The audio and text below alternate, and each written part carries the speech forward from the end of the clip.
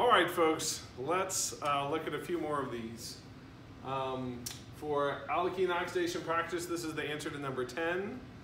Number 10, when you first look at it, looks like a real head scratcher, right? This is actually an easy problem that is diabolically disguised as a hard problem.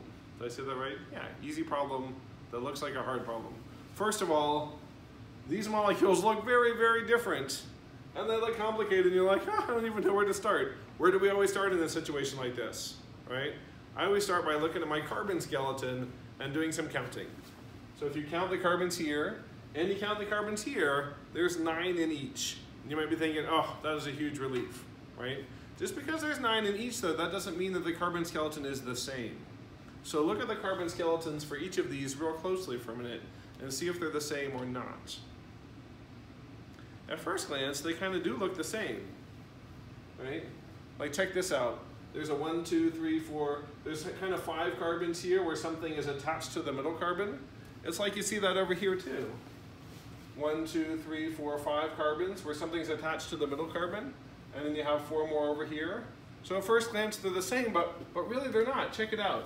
For these five, where one is attached here, there's no methyl group here. Over here, for these five that are attached, if you go one carbon over, oh, something is different about this one and that one, right? So if something is different, that means we're gonna need to do some surgery on this molecule. There's some other weird stuff too, right? So here is a carboxylic acid on a primary carbon. It's like none of these primary carbons even have functional groups. If they had something there, we could convert that into an acid, but the fact that right, there's no functional groups anywhere here, here, here means that this is really odd. Like, how do we do that? Well, let's go back to our clue that we're gonna have to do surgery on this molecule, right? We're gonna have to somehow break it apart and stick it back together again. So my hunch is, if we're talking about breaking apart, we're talking about alkene oxidation, we're talking about the hot acid flavor. So I don't know exactly what's gonna happen, but I'm gonna go ahead and rip this thing apart and see what I get. So here's my alkene, right? I'm gonna do potassium permanganate on acid. Remember what that does. That will actually cleave this apart. That cuts clean off. This thing gets oxidized as far as it can go. And this thing gets oxidized as far as it can go too. So now I have two products. I have this one, which is essentially something that looks, we'll draw it like this. And this being a secondary carbon is going to get oxidized to the ketone. Ooh, here's a primary carbon, and it's getting oxidized as far as it can go too. Huh. So that's going to be an acid going up here, here, here. So after one step, now I'm down to here. Now things are starting to look a little promising because guess what? This piece now looks a lot like that piece, right? So these pieces are put together and now I just need to somehow take these carbons and stick them over here. So I need to have that reaction that forms new carbon-carbon bonds. You'll remember that that reaction is Grignard. In order to get Grignard, to do Grignard, I need a haloalkane and we could use a couple different things, but oftentimes aldehydes are ketones. Hmm.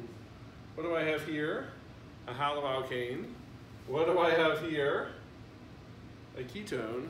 So what happens if I turn this into a Grignard? Let's find out, right? Adding magnesium in the presence of ether. Actually, I'm just gonna like rewrite on here instead of writing that whole thing out, right? This then becomes MgCl. Now this reacts with this, right? So remember, where is my nucleophile? It's actually on this carbon right here. Right, here's my partial negative. Where's my electrophile? It's attacking this carbon right here, which means that there's going to be one bond that connects this one with that one, right? Which means I'm going to have, oopsies, that's sloppy. So this one, here's the new bond that gets formed, right, is going to attack this one right here. So we'll go ahead and put that carbon in. And this, instead of being a ketone is now this. And I can do that workup step by adding H2O. When I add H2O, that actually puts the H plus on here. Bam, and that gets us that product. All right, so this is number 10. Let's look at 11 real quick. And actually, I'm just going to talk you through 11.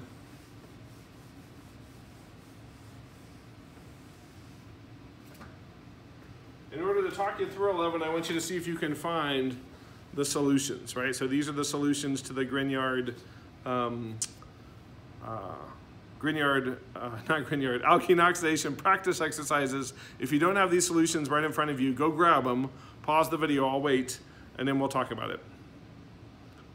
Okay.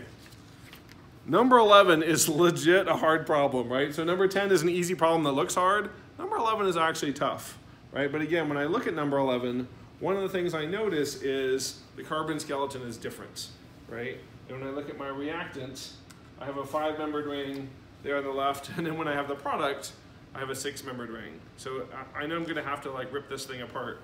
In order to rip it apart, I must make an alkene, right? Uh, and so one of the ways that I can make an alkene, the way we do that is through elimination. Uh, and I know I need to rip the ring apart. And so I need to take that OH group and eliminate it. That implies I'm going to use E1, right, that alcohol dehydrogenation. Again, if you're like, ah, I don't remember exactly how to do that. That's okay. Just use your, use your free gift and go through there until you find what you're looking for. So you're going to rip that ring apart, right, uh, using hot alkene oxidation. And then we have to do ourselves a little redox, right? So we've ripped it apart, and now we're gonna put it back together again. Remember, in putting it back together, putting it together is a Grignard reagent. Ripping it apart is alkene oxidation. So in putting it together to do Grignard, what I need to do is have the snake bite its own tail. Nom, nom, nom, nom, nom. Right? You're gonna need something like a ketone or an aldehyde on one end. And what's on the other end of Grignard? A haloalkane that you've turned into the Grignard reagent. And so that's what we're doing sort of in that, in that uh, step three. We're preparing a C double bond O.